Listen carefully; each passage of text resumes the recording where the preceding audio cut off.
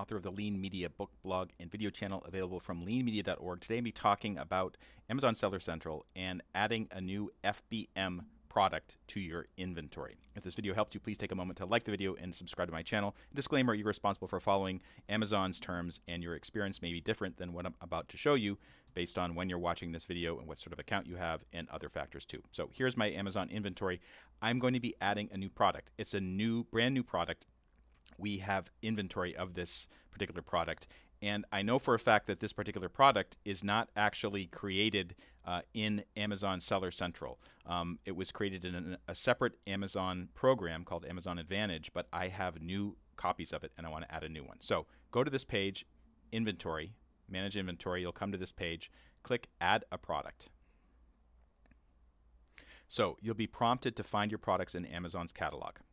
And I know what the product is based on its ISBN number. So it's a media product. You can also use a UPC code or an ASIN or something like that. I'm going to paste it in there and click this.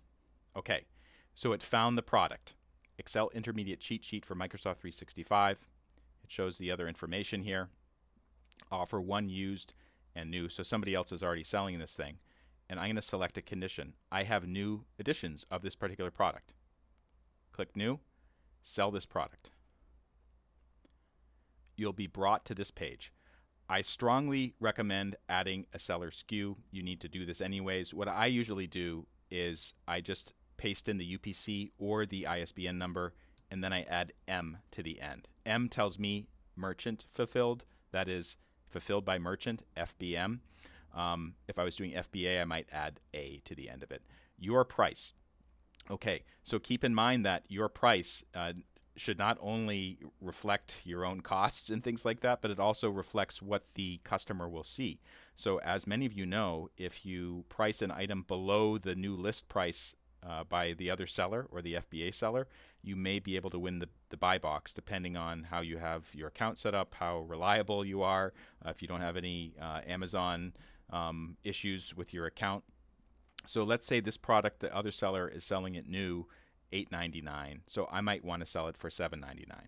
The other factor you should keep in mind here is that um, whether or not you're offering free shipping or it's something that the other that the uh, customer will have to pay for, because that will determine how it shows up when they're browsing Amazon. Quantity, I have 10 of this item. Condition, this is important. Don't try to fudge this thing. If it's if it really is new, you can list it as new. Don't be doing something used like new if it's really worn around the edges. So just be careful with that. And then you select I will ship this item myself. So this is FBM, fulfilled by merchant. FBA, fulfilled by Amazon. That would be Amazon will ship and provide customer service. So I'm going to do this one. Save and finish. So you get a prompt. It's submitted. Um, it'll be in the system soon you may get some other issues with this. Uh, if that's the case, like Amazon tells you there's a problem or the listing doesn't show up on Amazon.com, you'll need to get in touch with Amazon Seller Central support to see what's going on. For more information on how to get the most out of different types of selling programs, including Amazon Seller Central, FBA or FBM, Shopify, uh, Amazon advertising, Amazon KDP. I have all these videos available at leanmedia.org. Just click on my YouTube channel to see a list of them and I also explain the lean media framework here. Um, take a look at my blog, and I have some written stuff, and I also have a Twitter account. Uh, just go to the bottom here, and you can select, uh, click on that little Twitter symbol, and you can see what I have to say.